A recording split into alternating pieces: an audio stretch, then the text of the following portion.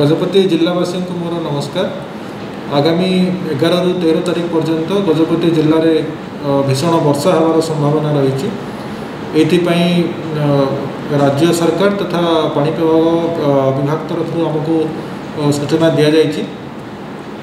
ଏହି ଦିଗରେ ମୁଁ ଅନୁରୋଧ କରିବି କି ଯେଉଁମାନେ ପାହାଡ଼ ଉପରେ ବିପଦ ସଂକୁଳ ଅବସ୍ଥାରେ ରହୁଛନ୍ତି କିମ୍ବା ଲ୍ୟାଣ୍ଡସ୍ଲାଇଡ଼ ସମ୍ଭାବିତ କ୍ଷେତ୍ରରେ ରହୁଛନ୍ତି ସେମାନେ